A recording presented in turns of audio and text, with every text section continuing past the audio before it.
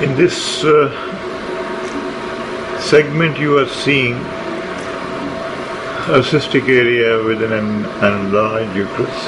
This is the uterus, and this is the transverse section of the uterus. This is the urinary bladder, and uh, what you are seeing in this uh, transverse section of the uterus is a cystic area measuring 44 millimeters.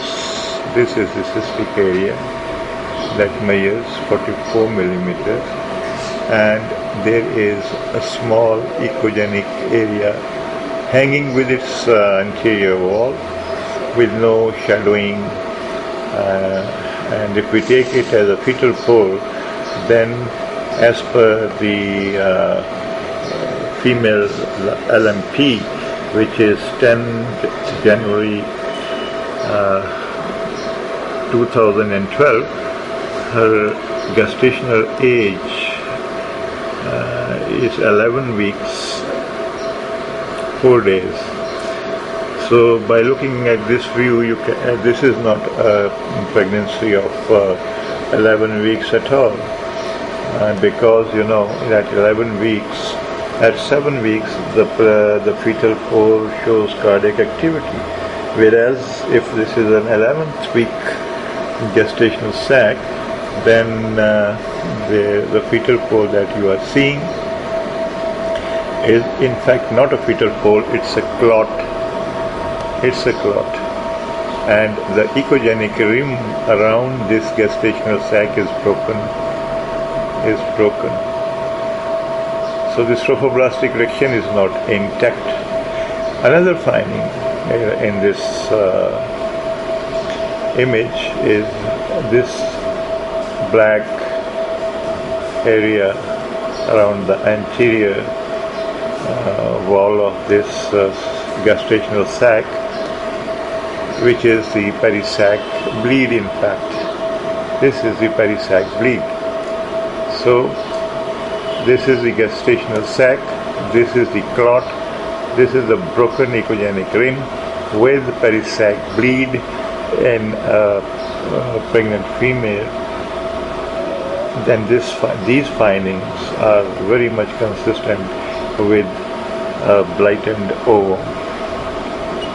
Now let's move further and see if there are any, if there is any cardiac activity seen uh, in this uh, fetal pole. Now this is the same same gestational sac, okay, that I was seeing this is the clot hanging from the wall of the gestational sac, the decidual reaction, the trophoblastic reaction, and uh, there is no shadowing uh, from this pole. And uh, 44 millimeter was its size.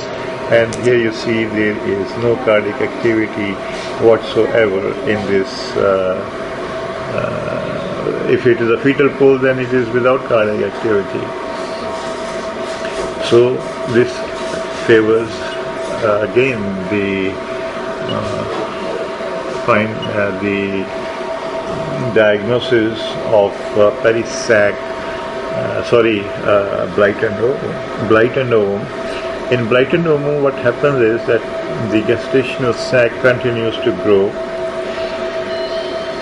Fetal pole does not grow and the placenta goes on developing. So the gestational sac and the placenta they continue their growth. This is now you see in this sec, this is the uh, uterus in longitudinal section, measuring 9.6 centimeters in length from here to here, and 5.1 centimeters in anterior posterior diameter, with a gestational sac longitudinal. This is the echogenic area, a clot within it that was a developing, uh, you know, fetus stopped growing. But the gestational sac continued to grow and the placental development also started because, you know, at the age uh, of 10 weeks, the placenta starts developing.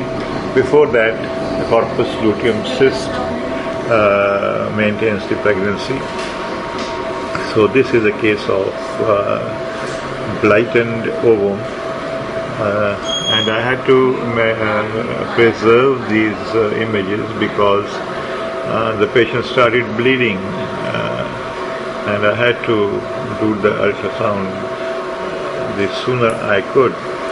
So the blighted ovum will appear to you, will not correlate with the patient's or the mother's LMP and you will see that the sac will be larger than the uh, than the age of the pregnancy. So this is a typical picture of a blighted ovum with peri-sac bleed,